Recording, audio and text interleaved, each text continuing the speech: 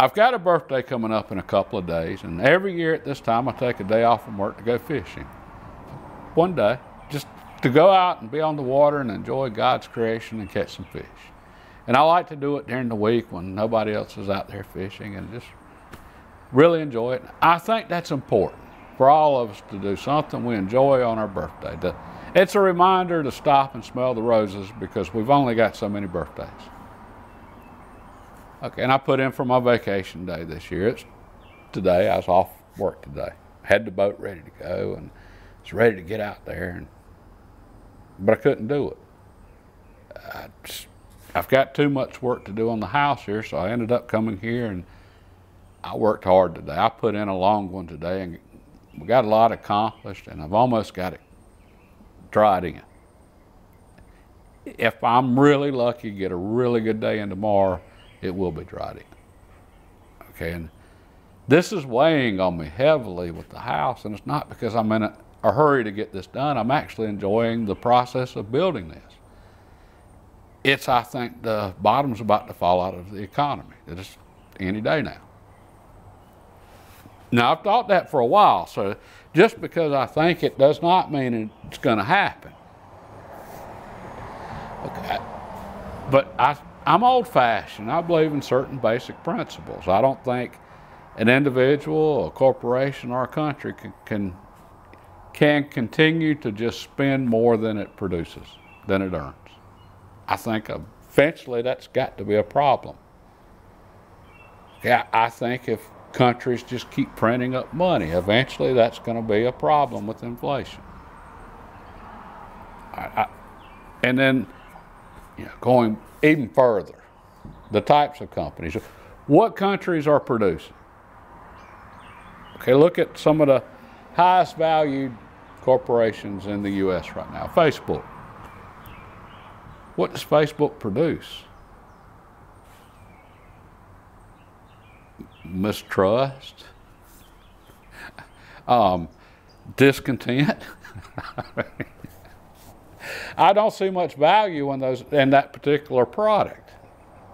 Okay, so I think there's some really bad it, fundamental problems with our economy right now, and I think just any minute the music's going to stop and we're going to see who's left without a chair. And someone I follow regularly that I really enjoy his insights is Dave Collum, and I've mentioned him before. And I'll leave a link below in the description to a podcast I just saw where he was being interviewed. And Dave doesn't have his own channel, just all sorts of various uh, financial type people interview him on their podcast, and he enjoys doing the, the interviews. Just he enjoys conversations. He enjoys having his ideas challenged because he's very old fashioned in his thoughts also. And he's predicting essentially a 30 or 40 year recession, depression coming up. I mean, there'll be some good times in that, but for the most part, with the stock market, he's predicting an uninvestable market for the next 30 or 40 years. Okay, and he said something that I really liked, that, or it stuck with me anyway. He said a correction in the stock market isn't that the stock market just went back a little bit and you know the value was less or, or whatever. A correction, an actual correction, is a correction in attitudes. And that's what the Great Depression was. It was a correction in attitudes from the excesses of the 1920s. So everybody in the 1920s was just borrowing money in debt, not investing wisely, not using their money in productive ways, and the stock market had become essentially just a Ponzi scheme. Okay, well that just sounds an awful lot like where we are where we are now, except for they weren't 34 trillion dollars in debt, U.S. government, in the 1920s. Okay, they are right now. Okay, so I think, yeah, this is, we'll see how this plays out. Okay, but for myself, this is exactly, I think, what he meant by correction in attitudes. It's it would have been so easy for me to say, you know, I deserve my day on the lake to go fishing. I, have worked hard. Uh, I lived another year. I survived it. I deserve a day on the lake. The thing is, I don't. Okay, just the fact that I am fortunate enough to be able to go out and just spend a day on the water chasing fish, that's a, that's a privilege. It's not something I deserve. It's just something I'm thankful to have on occasion. And I've always said fishing's like golf.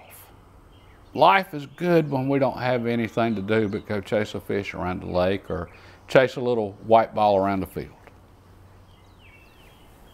Well, we've got so many now that they're not interested in being productive and they are so far in debt because they are spending so much more than they earn and we've lost all concept of wealth creation. Okay, building this house here, that's what this is. This is wealth creation. There was nothing here. I don't know, a couple months ago, I did have the footers, two and a half months ago.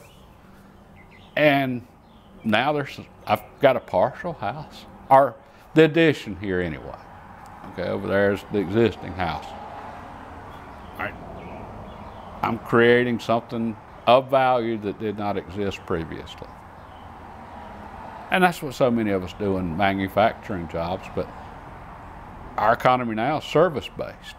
We're not actually producing an actual good. A, a service is, I mean, once we use the service, that's it. It's, it has no value after that. Uh, I'm sure there's exceptions to it, but okay, well, I think we actually have to make things to create things of value. I think that's really important as far as for GDP, our gross domestic product, and that's basically how much our economy's worth. Okay, that's all the things of value created within the country. Well, Facebook greatly contributes to our GDP because it makes a lot of money does Facebook actually create anything of value? Or does it just create discontent, animosity, bad feelings, and a lot of drama? Eh, all in an effort to try to sell us stuff from countries that, like China, that do actually make things. Okay, would our country be better off, or excuse me, would our country be better off without Facebook? And that's an analogy I heard Dave use before I thought was really good. I think our country, I think most of us would be better off without Facebook. So it adds greatly to the to our GDP, to what the our economy, but does it add any value to our lives? And okay, so keeping that in mind on, on the correction. If we do go into, you know, bottom falls out, how would you change your attitude about things? Okay, and then would it not be better to go on and make some changes now if you think this is the direction things are going? All right, anyway, that's just something that was really weighing on me today. and yeah, I'm tired now from having worked all day. I do not regret in the least though not having gone fishing in, this morning. I, I, made a lot of progress. I'm, this is almost dried in now. If I can have a really good day tomorrow, it will be, and hey, I'm going to find out. But anyway, I just wanted to share that. God bless and have a great day.